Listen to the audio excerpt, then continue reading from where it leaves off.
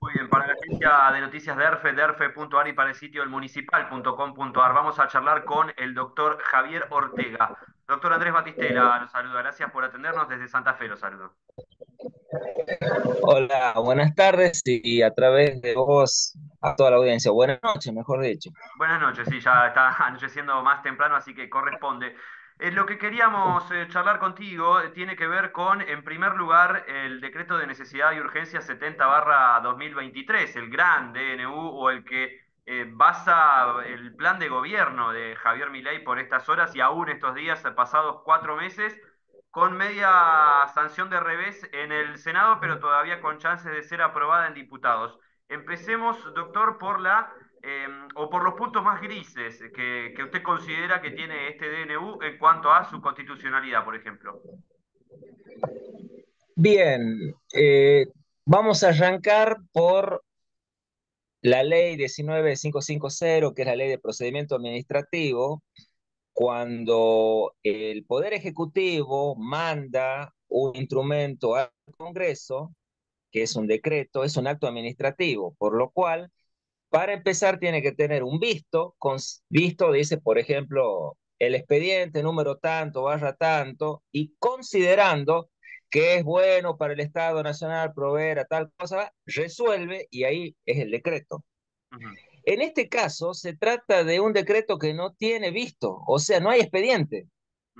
Dice, visto y considerando, y aparece a dar las razones por las cuales se manda el decreto, pero yo no puedo establecer una trazabilidad, o sea, no tengo un número de expediente 804 arroba número 42, para que yo después lo pueda meter en sistema, que la consulta pública y ver qué pasó por jurídico, pasó por legales, pasó por secretaría técnica, pasó por las distintas reparticiones. Con lo cual ya estoy ahí empezando a caminar una nulidad de acto administrativo porque la ley de procedimiento administrativo establece claramente de que hay que tomar determinados antecedentes, de que tiene que tener una razonabilidad legal, es decir, una ratio donde yo tomo una fundamentación para lanzar y donde es muy importante contar con dictamen letrado, es decir, tiene que el organismo letrado, en este caso del Poder Ejecutivo, decir esto es procedente dado que favor o en coincidencia con la Constitución Nacional, bla, bla. Bueno, eso no lo tiene. Ya para empezar, empezamos con el pie izquierdo ahí directamente, porque yo no puedo establecer por dónde pasó. Lo cual todos sabemos el motivo. Es porque un privado desde afuera le zampó el paquetito al Poder Ejecutivo para que lo presente. No tiene una trazabilidad, no tiene un seguimiento dentro de las distintas oficinas del Poder Ejecutivo para que una vez consolidado el procedimiento recién vaya al Congreso. Por ahí empezamos. Después, con respecto a la constitucionalidad, es un capítulo bastante borroso. No sé si vos querés hacer una pregunta específica, porque hay 50 puntos por donde yo le puedo atacar la constitucionalidad de ese. Claro, em, la primera duda que quería despejar antes de, escucharte un rato más es si en caso de que diputados eh, terminen dándole sanción favorable al DNU y con esto con la ley de, em, de, aquel, de aquella que algunos le adjudican a Cristina Kirchner, tendría más peso que todo esto otro que vamos a hablar que es irregular? Es una muy buena pregunta. Si yo me ciño a la letra de la ley, esa ley tiene un hierro que la hace a su vez inconstitucional. O sea, tengo una inconstitucionalidad de dos pisos. Lo que me pide la ley, cuya numeración no me acuerdo, que es a los efectos de reglamentar el tratamiento de los decretos de necesidad de urgencia, es que los rechacen las dos cámaras. Claro. O sea, las dos cámaras tienen que expresarse y en caso de que rechace uno y la otra guarde silencio, convalidaría la vigencia de ese decreto de necesidad de urgencia. En donde, entonces yo le estoy poniendo a un instrumento que es de necesidad y urgencia conjuntural accidental, menos requisitos para su vigencia que lo que le estoy poniendo a una ley. Vos fijate la inconstitucional, porque la ley directamente tiene que ser aprobada tanto por la Cámara de Senadores como por la Cámara de Diputados y recién cobra fuerza de ley. Y una vez que incluso está aprobada, está a tiro de algún veto del Poder Ejecutivo. Entonces vos fijate la irrazonabilidad. Cuando yo digo irrazonabilidad es un término que para hacértelo corto que lo utilizan mucho los abogados, tiene que ver con que un instrumento tiene que ser acomodado al fin que busca, tiene que ser lógico y tiene que ajustarse a la experiencia concreta.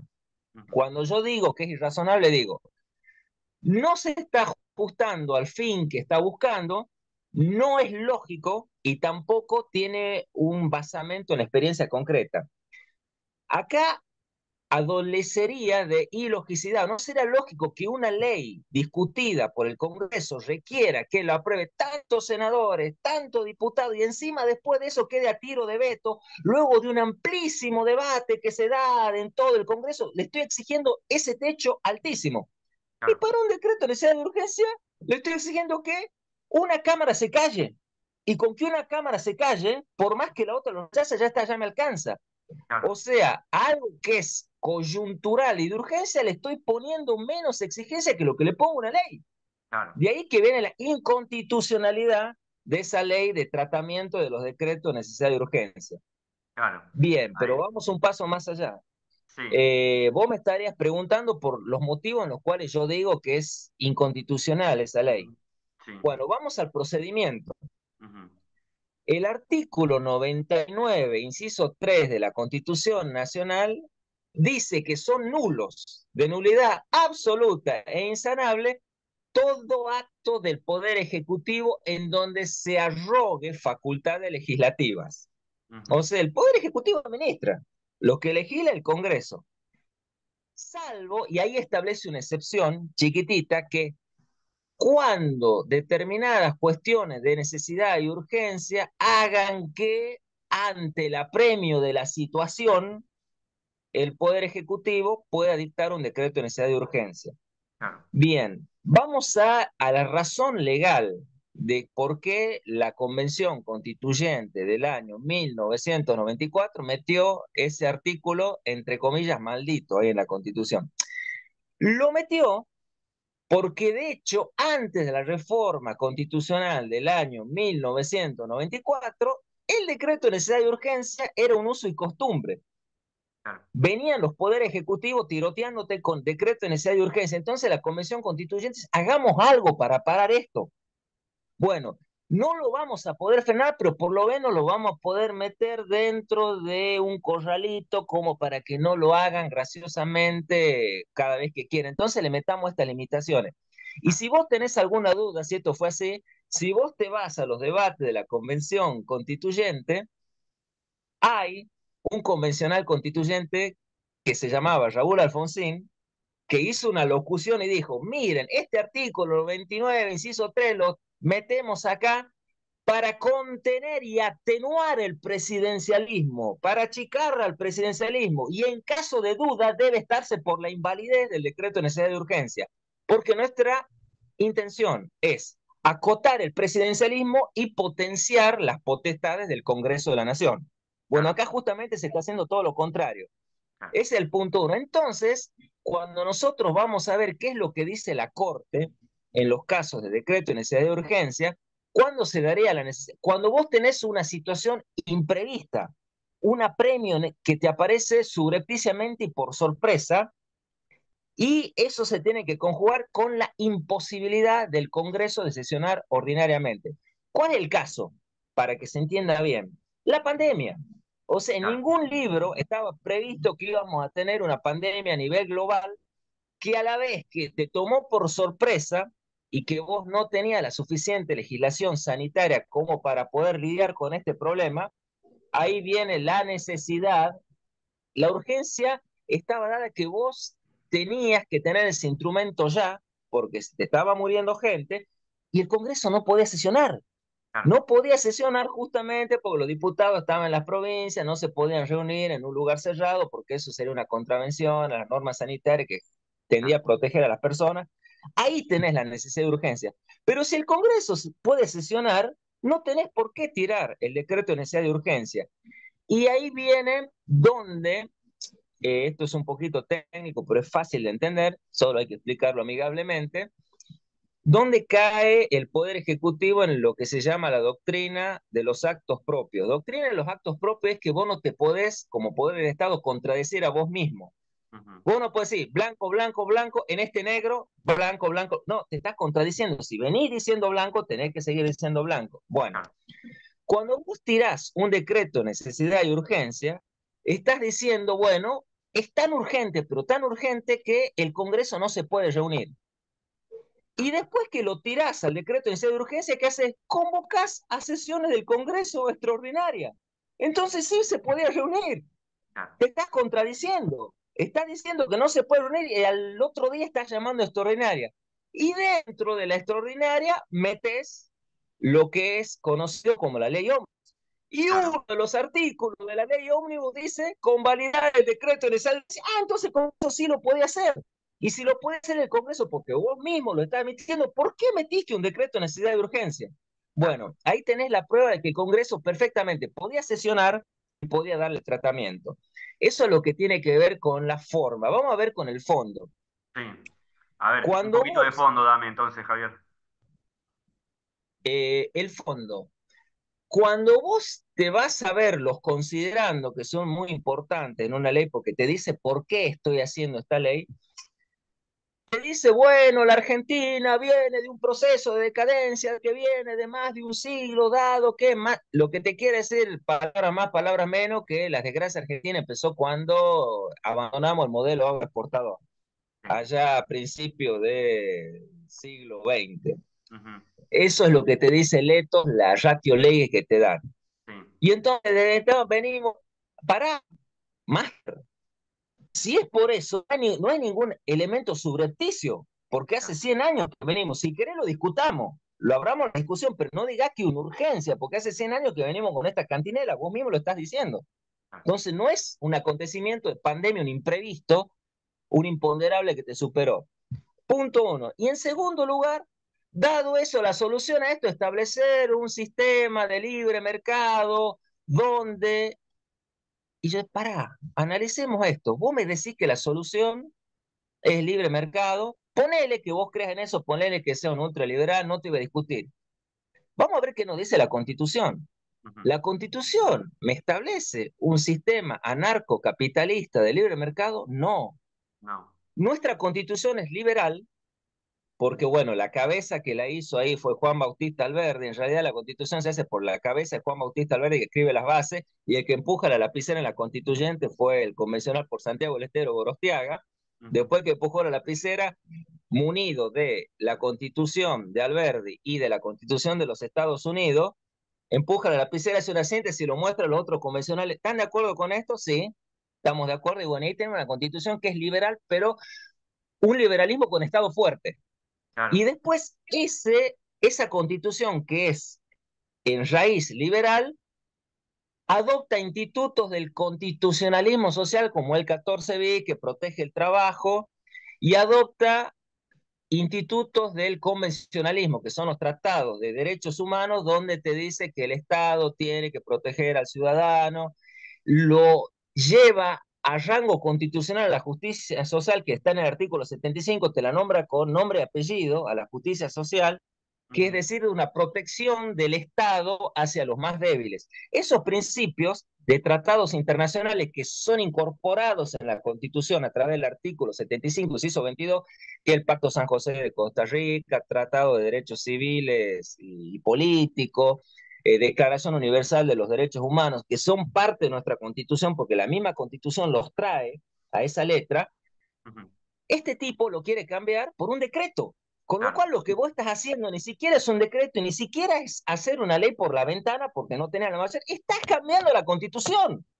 Si vos pensás que un liberalismo absoluto es la solución para los males de la República, perfecto, armate tu convención constituyente, declarar con las dos terceras partes del Congreso la necesidad de la reforma, una vez que te salga la necesidad de reforma, llama a una convención constituyente, que se junten en Santa Fe, en San Nicolás y discutan, ¿saben qué? Todo lo que dice nuestra constitución liberal del siglo XIX y los institutos del constitucionalismo social y convencional del siglo XX, la reforma del 24, no sirven, nos vamos a dar una constitución anarcocapitalista.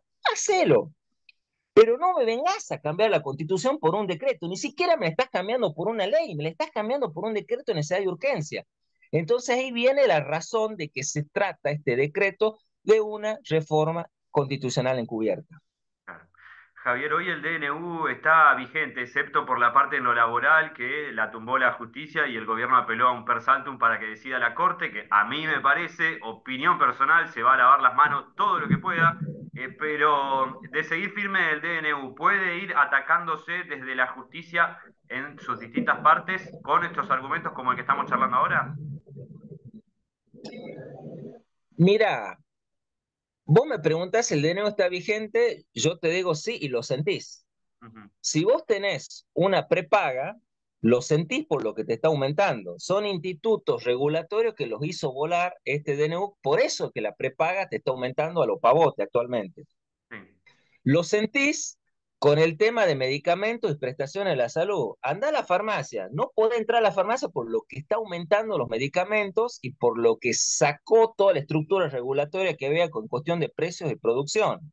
Ahí también te está aumentando.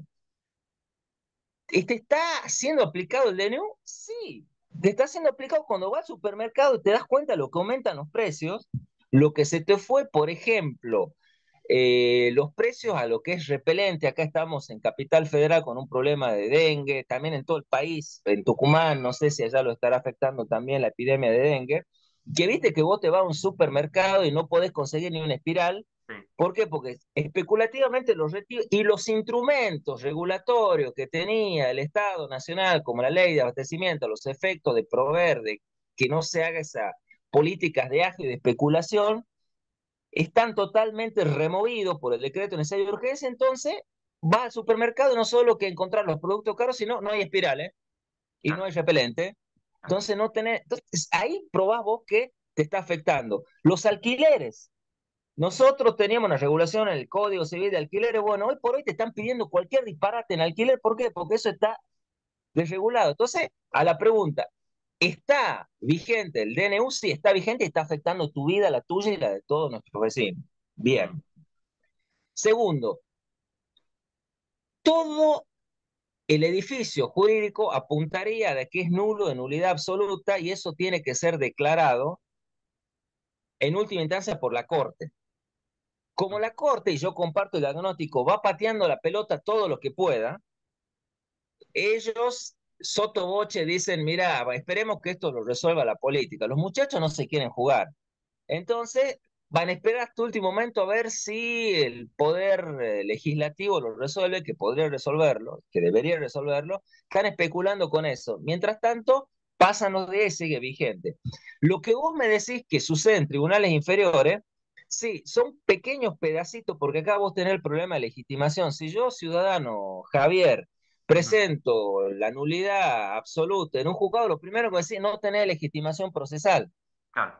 ¿Por qué? Porque ¿en qué te afecta vos en la vida? Bueno, me afecta porque mi vida sirve cuando vos el súper, no, eso es muy difuso. Vos tenés que invocar un interés legítimo, directo, lineal. Entonces, por ejemplo, si yo quiero nulificar la parte que tiene que ver con la modificación de la ley de contrato de trabajo, me presento como se dice, no, ah, vos no tenés legitimación, se tiene que presentar un sindicato. Y es cuando el sindicato se presenta, pero el sindicato tiene legitimación procesal para frenar ese pedacito. No puede frenar la parte de ley de locaciones urbanas que ha sido totalmente regulado, no puede atacar la parte de la provisión de medicamentos porque van a decir que no tiene legitimación. Entonces vos podés ir impugnando pedacitos de la ley, no podés impugnarla en totum como debería producirse.